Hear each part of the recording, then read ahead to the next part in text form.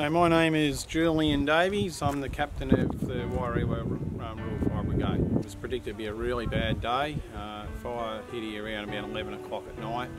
Um, basically went through like a steam train hitting the little district. I'm David Gridley. I'm captain of the Westbury Fire Brigade.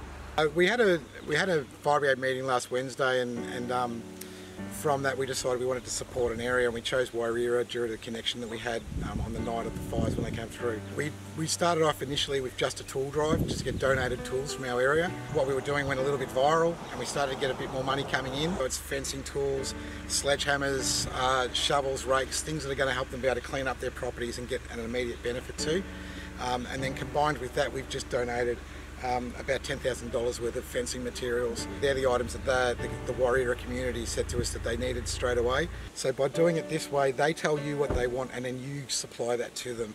I, I highly encourage people to get a connection with, with the communities that are affected. If we can choose a little area or a little township and support that township after the fires are out, come and visit these communities. We want to make sure that in a month's time, in two months' time, in six months' time, these communities aren't forgotten. It'll, it'll just make their, their situation so much better.